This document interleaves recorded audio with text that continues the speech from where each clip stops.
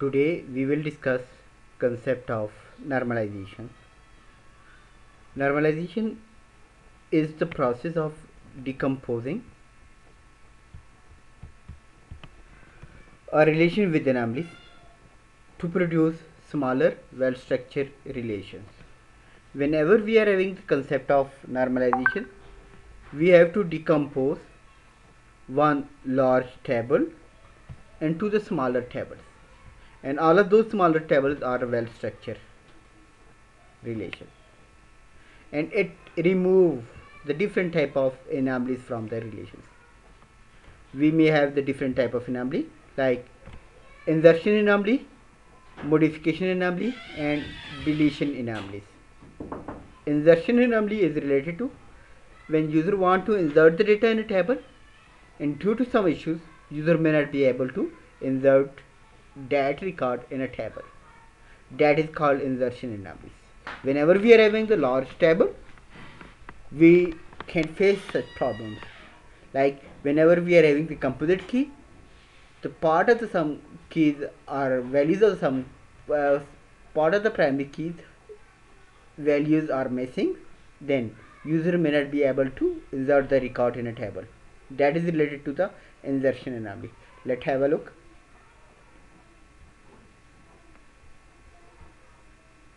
like in this one table we have the columns are here student id student names and date of birth subject code and subject names. If we have to assign the primary key in this one table we are having the student id and subject code. That is a composite key. That is a primary key in a relation. So attribute that involved for the primary key or composite key. That is a student id and subject code like we have few record student id 1 name is smith. Date of birth is given over here. Subject code cs01 programming. 2 smith. 1st february 02 and then subject code names. Like if we have a new subject is available like new subject was introduced by higher education and we want to use that one subject over here. The name of subject is course code of this one that we say that cs199 and for this one subject code we have a big data. When user want to insert this one data although this one subject is currently new subject no student is enrolled registered with this one subject. Now if user want to enter the record of this one table this record in a table user may not be able to enter the record. It will display the error message. Reason is that the part of primary key is not available over here. It will say that the value of the primary key can never be null. That is against the integrity constraint rule. So whenever we have a large table then we may have the issue while insertion of the data so whenever user want to insert the data in a table a user may not be able to insert that data in a table. That anomaly is called insertion anomaly. Now second one we have a related to the updation anomaly or modification anomaly.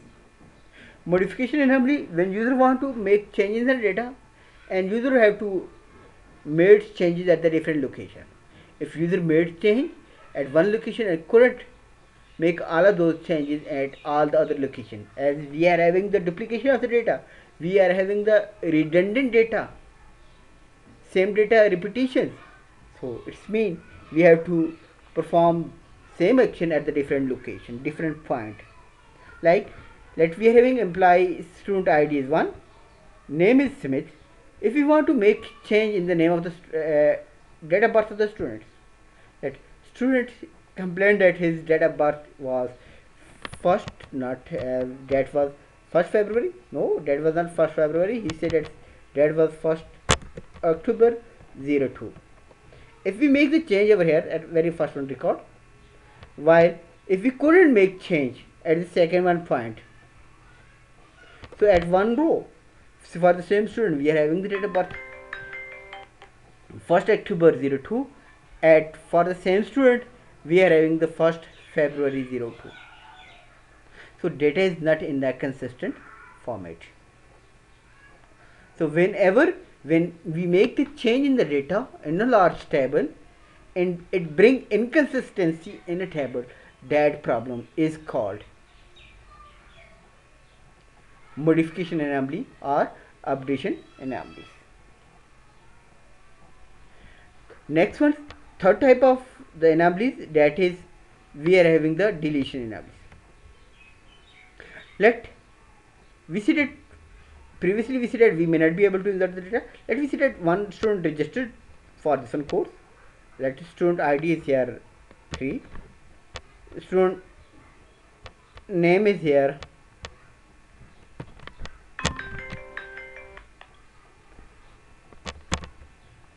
and we are having the date of birth. First May 03 now we enter this one record when student register for this one course.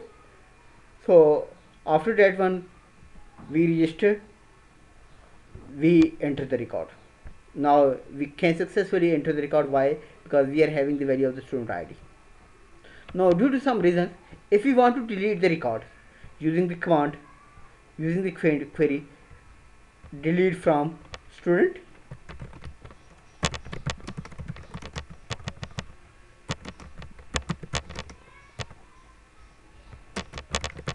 Where std id is equal to 3 whenever we want to delete this record of the student what will be happen? This record will be deleted when this record will be deleted from our database fine. But with the deletion of the student record some other important information are also deleted and those information are related to the subject. So that is a deletion anomaly. When user want to delete the record and with deletion of that record some other important information that user don't want to delete it are also deleted. That anomaly is called deletion anomaly. So whenever we have data is available in a database user in a large table we may have the different type of the anomalies are there those anomalies are insertion anomaly updation anomaly or modification anomaly and deletion anomaly. So normalization overcome all of those anomalies, remove all of those anomalies. Similarly, normalization minimize the data redundancy when we decompose break down one large table into the smaller table. It minimizes data redundancy. Similarly whenever we are breaking down one table into many other table so it's mean we are having the relationship between the different table. Then we have to use the concept of the foreign key. That enforce the referential integrity constraints. And insertion of the data updation of the data deletion of the data become very easy. So different dml operation become very easy because of the normalization. That is the process of efficiently organizing data in a database. So we say what are the main goals? We say that that eliminate that remove data redundancy. Remove data redundancy right?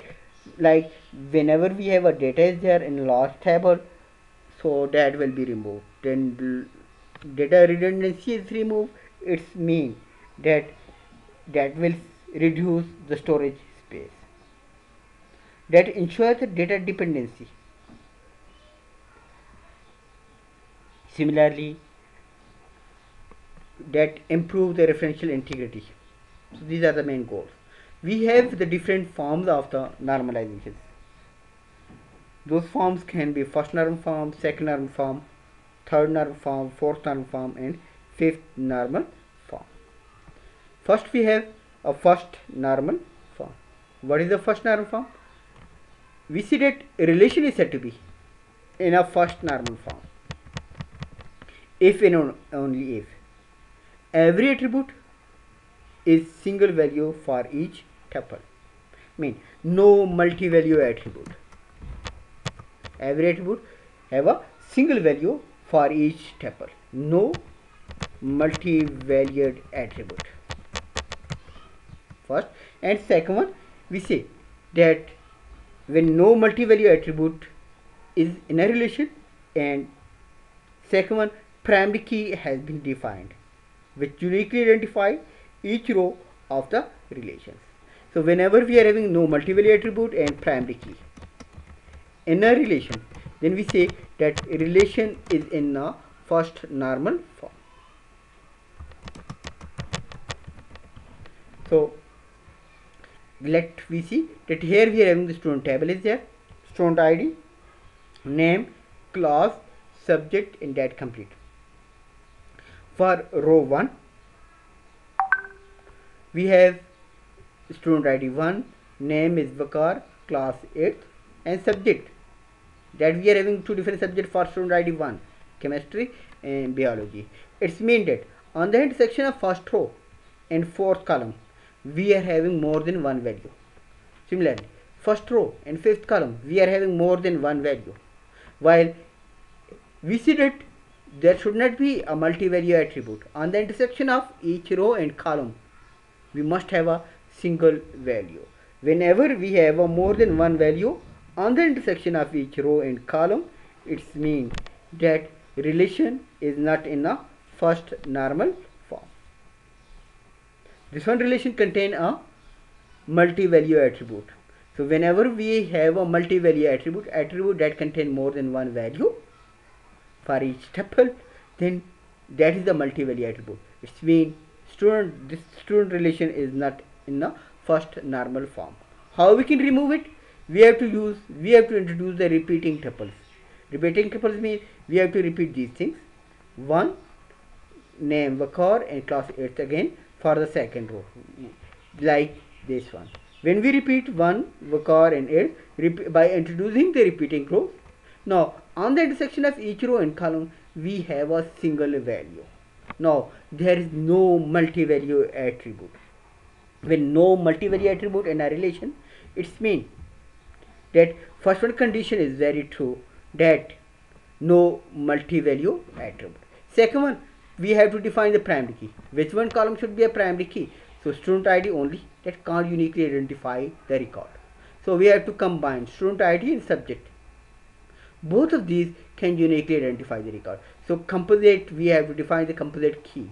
And that composite key is we have a student id and subject when we define the primary key and no multi-value attribute in a relation it means this one relation this one table is in the first normal form. After that we have the second normal form. Relation is said to be in a second normal form. If and only if relation is in first normal form and there is no partial dependency as last video we discussed the concept of the functional dependency. So partial dependency is the type of functional dependency. What is the partial dependency?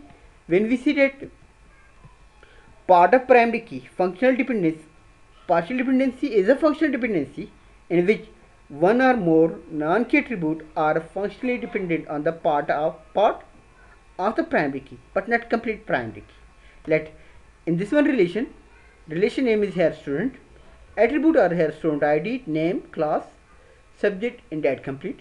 Primary key is here student id and subject that is a composite key. In a relation we must have only one primary key. Student id and subject is the primary key or composite key. So partial dependency that is a function dependency in which one or more non-key attribute are functionally dependent on the part of the primary key, not on complete primary key. Whenever one attribute or more than one attribute that depend on the part of the primary key, on the part of the primary key is here as the student ID or subject. If one attribute depend, non-key attribute depend on the part of the primary key, like student name can be determined by the student id class that also depend on the student id so mean one or more attribute that depend functionally depend on the student id part of the primary key. It's mean in this one relation we have a partial dependency. So how we can see that we have the partial dependency exists in this one relation and that partial dependency is here. We see that student id that can determine the value of name. Similarly student id can determine the value of class. That is the whenever we have a dependency is here this one dependency is called partial.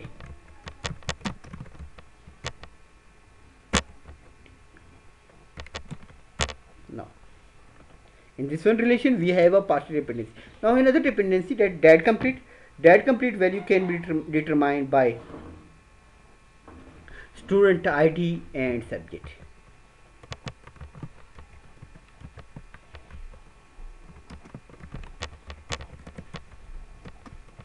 So both of these can determine the value of that complete. It's mean whenever now this one is whenever complete primary key can determine the value of other attribute it means that is the full functional dependency. That is the full functional dependency.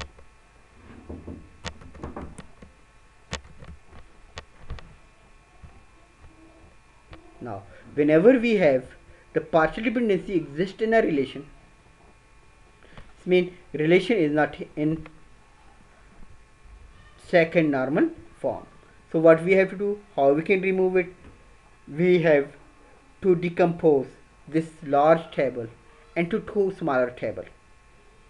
one table contains student id name and class based on these dependencies we have to create two different tables one student id name and class Second one, student ID, subject and date complete.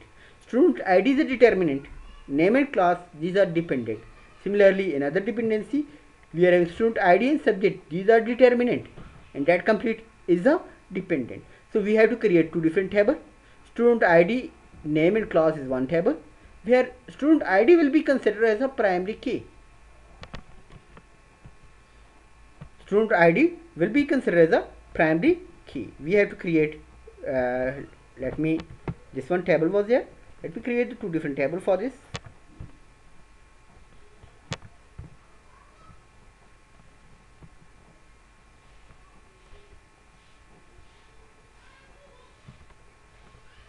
so we have first one table contain the student id name and class. So here student id we see that that can determine the value of name and class. So student id is a determinant. Determinant become a primary key. So value of primary key can never be repeated. One is here that again repeated so we have to remove it. So that should not be repeated. I'm just using the id 2 name is here.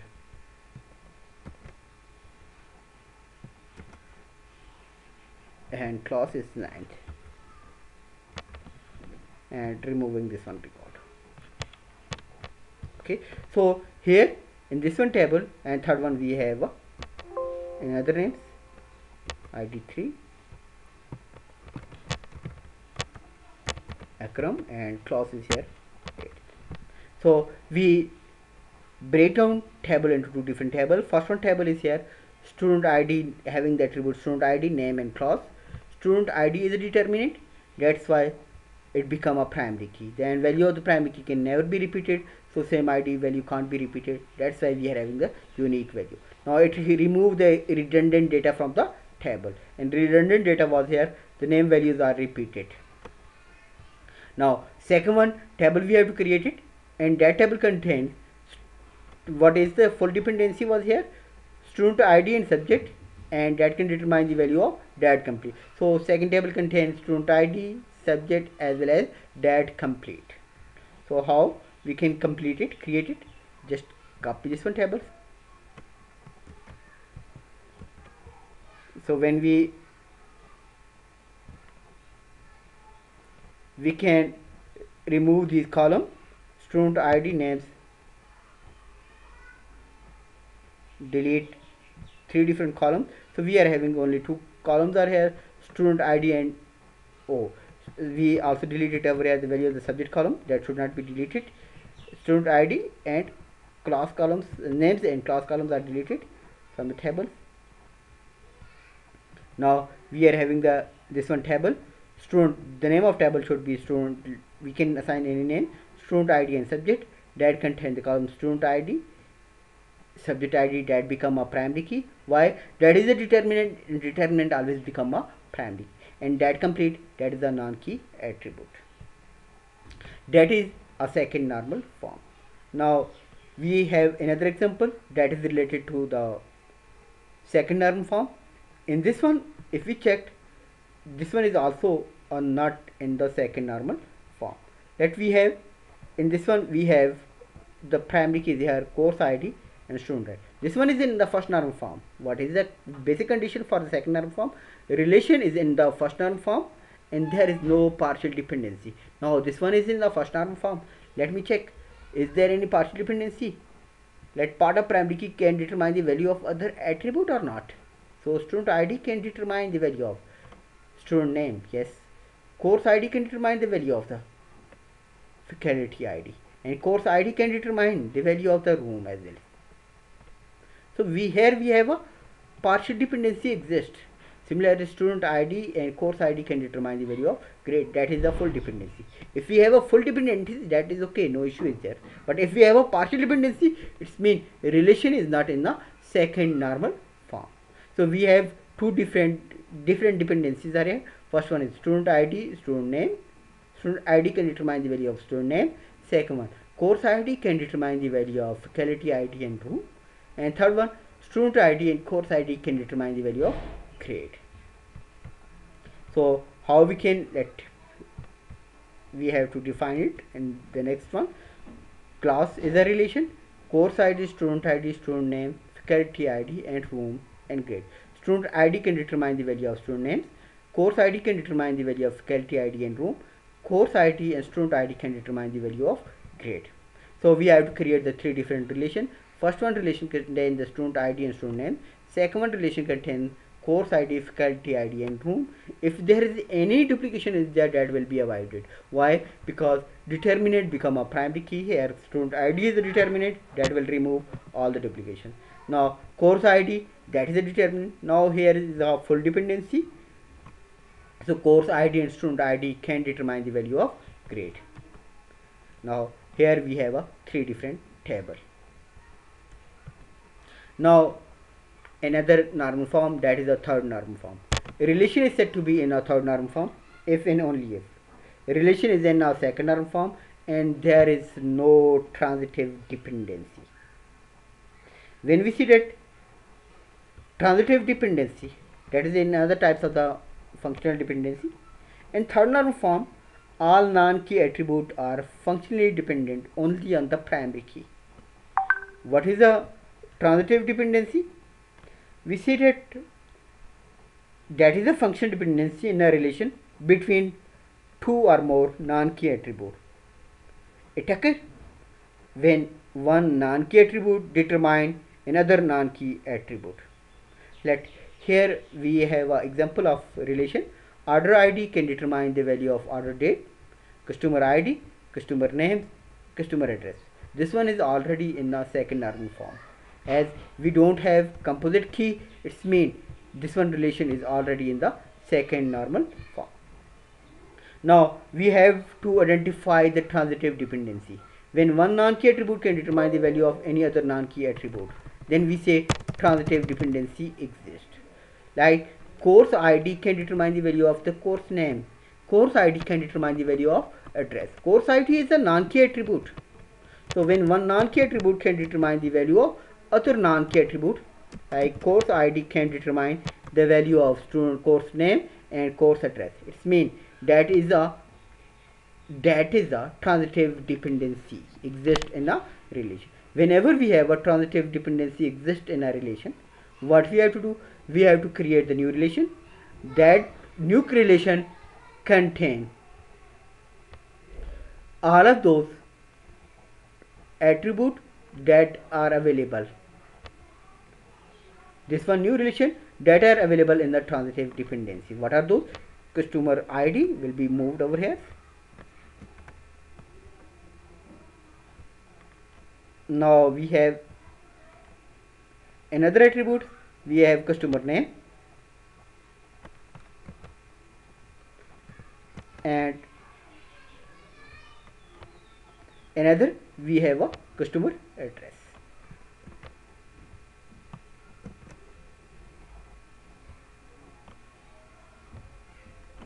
Let me merge both of these if I can. Let merge cells yes.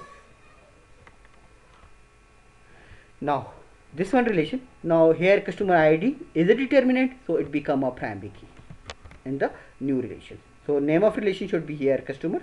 Now first step whenever we are having the transitive dependency create the new relation.